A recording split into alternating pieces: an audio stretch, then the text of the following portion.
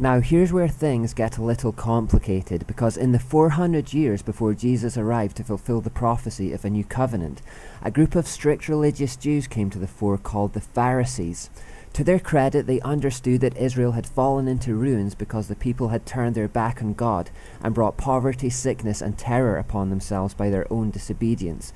It was the people's own licentious living, sexual immorality, drunkenness, and idol worship that had ruined the land. The Pharisees were determined that this was never going to happen again, and they weren't about to sit around waiting for the Messiah.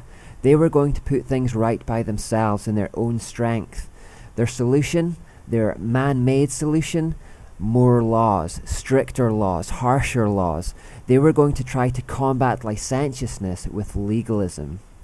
Now, as we know already, you can't make people good by law. You can't heal an essentially internal problem by trying to subdue the external behaviors, just as you can't cure an internally demonized person by pumping their external body with drugs.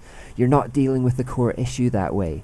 Giving more laws to a person with an unregenerate heart is just giving them more laws to break, so this man made solution was always doomed to failure. But the thinking behind it was that if the people hadn't behaved under 613 rules, then they would behave under 800. And should they break these new laws, or twist or bend them, or find loopholes to exploit, they would then close those loopholes with even more laws, and if need be, more laws on top of those, and so on and so on. The idea is that if people don't act the right way by their own volition, they can be restricted and controlled and forced into acting the right way by law. At that point, a good society would emerge that God would approve of. Indeed, the thought process was that they would gain some kind of extra credit with God if they went above and beyond the obligations of the original 613 laws. The more laws they kept to prove their devotion to God, the more He would love them. That was the thinking. Here they turned the law into a system of merit. They thought that they could earn their way to heaven by their own law keeping efforts. So over time, the Pharisees added to the written law of Moses with their own man made rules in an attempt to earn God's favour, and this became known as the oral law.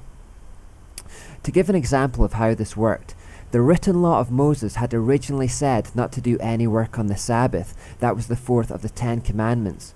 For most people, that meant taking a break from their everyday job.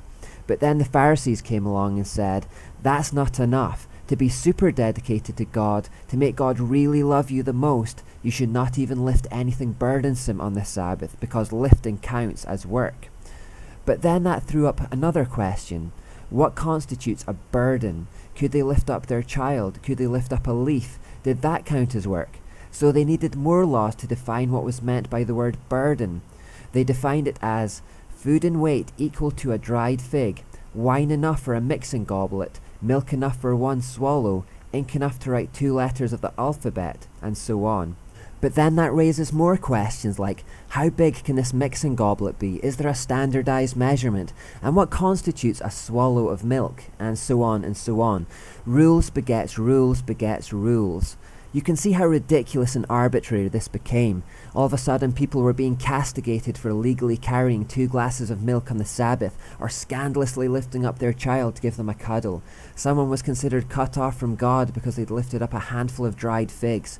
The silliness of it is almost laughable, but this became religion to the Jews, a swamp of petty rules and regulations with sub-rules and sub-sub-rules and sub-sub-sub-rules, until there were so many rules that they were submerged under their oppressive weight, and where God was thought to hate you for lifting up a jug of milk on the wrong day.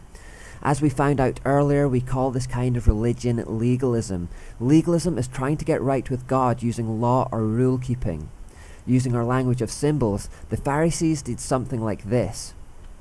They really thickened up that left hand bar by creating a myriad of new rules on neutral issues to try to restrict, coerce, and control the people.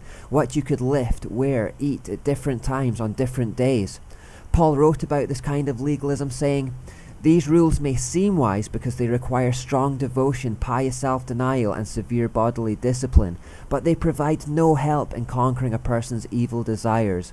Again, law doesn't impart righteousness, the heart sickness still remained. So not only was the legalism of the Pharisees outrageously silly and petty, but it was ultimately futile. They were trying to cure an internal heart problem with external rules, and all it did was make the people hard hearted. It led to a situation where people refused to give their child a cuddle on the Sabbath because lifting them could be deemed as breaking the rules. It meant refusing to help injured people on the street for the same reason. It meant shunning friends because they'd lifted up a jug of milk. People under legalism become more concerned with obeying the letter of the law than showing love, kindness, and mercy to one another. The Bible records Jesus and his disciples walking through a field of grain around lunchtime on the Sabbath, and being hungry, they began eating some of the grain as they went. The Pharisees saw this and were furious, calling it harvesting, in other words, work. That they would rather people go hungry than break their petty rules displays the hard heartedness of legalism. It leads to cold and loveless behaviour where petty rule observance is esteemed more highly than warm, compassionate love. What's worse is that legalists think that God approves of this behaviour. As well as hard heartedness, legalism leads to pride. It drives people into competition with one another. You keep 602 laws, do you? Well, I keep 608. God must love me more. You lift up a milk jug on the Sabbath, do you? I won't even lift up a glass. That's how pious I am. The Pharisees looked down on those who didn't keep the rules as well as they did because they perceived such people to be further down the table of merit. They competed to make public shows of their good deeds just to make sure everyone else could see how pious and loved by God they were. When they fasted, they made sure everyone knew about it. They would go out in public deliberately looking dishevelled and sick to emphasize their lack of sustenance. When they gave donations to charity, they made sure that everyone knew just how much they were giving. Such things became a method of gaining esteem in the community, and so they became more worried about what men thought of them than God. All of this behavior was fueled by pride. It was such pride that meant they didn't want to associate with people who they perceived to be beneath them. The Pharisees didn't have much time for the lowly people in society. Falsely imagining themselves to be righteous and accepted by God because of the many rules they kept, they had no time for those they considered unrighteous, like the prostitutes and beggars and other sinners. They completely lost sight of what the law had been for. The law had been designed to show Israel that everyone has sinned and everyone has fallen short of God's perfect standard, and that no one can reach holiness by their own efforts. Though the Pharisees kept 612 of the laws, and all these prostitutes and beggars kept just one, they were all still in the exact same boat. All were under the curse of death, all completely cut off from God. None of them were in a position to boast.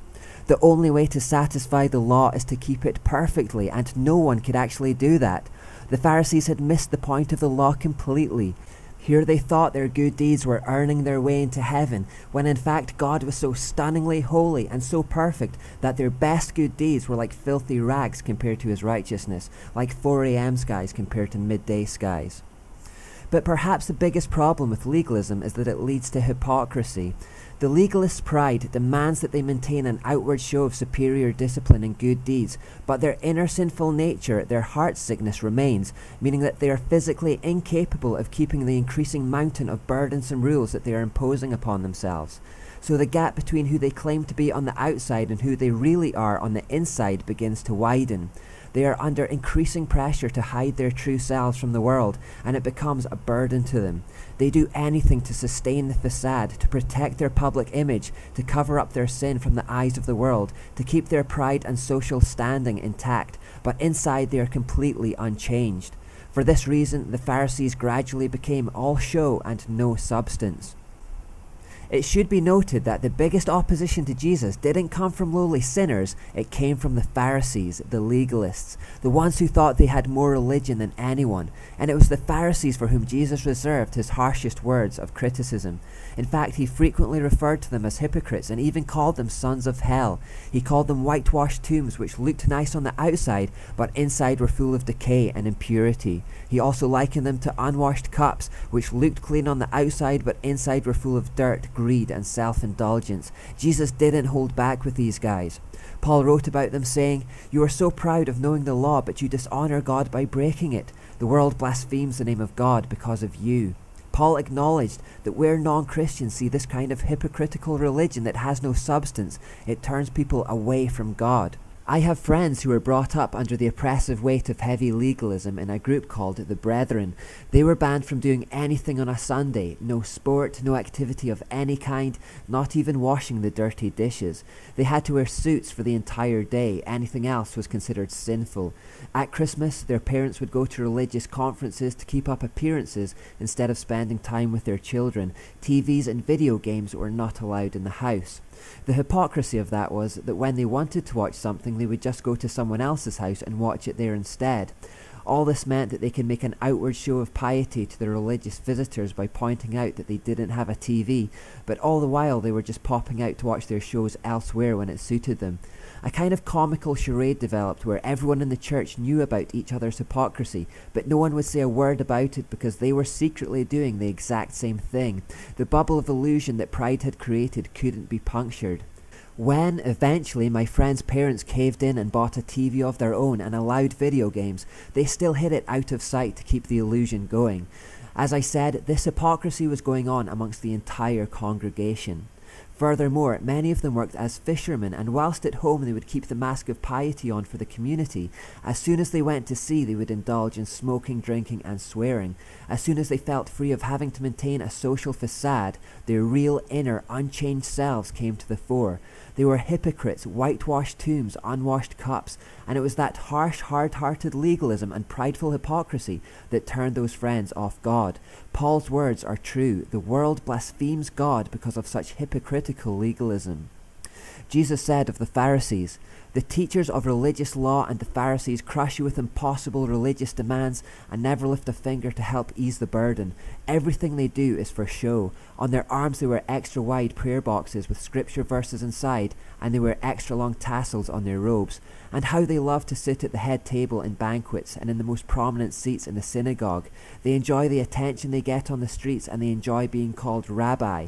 How terrible it will be for you teachers of religious law and the Pharisees, hypocrites. Again, you have to understand that these people thought that God loved them the most. They prided themselves on the fact that they knew more about the law than anyone, and they prided themselves that they kept all these extra man made rules. So imagine how shocked and infuriated they were when Jesus came along saying, Their worship is a farce and they teach man made ideas as commands from God and then went on to tell them that they were in fact the furthest from God, that they were sons of hell and the worst of all hypocrites. Legalists to this day are exactly the same. They teach man made ideas as though they are commands from God and imagine that He must love them the most because they keep the most rules. They are proud and hypocritical people. But always remember that Jesus was opposed most fiercely by and reserved his harshest words for legalists, not for sinners.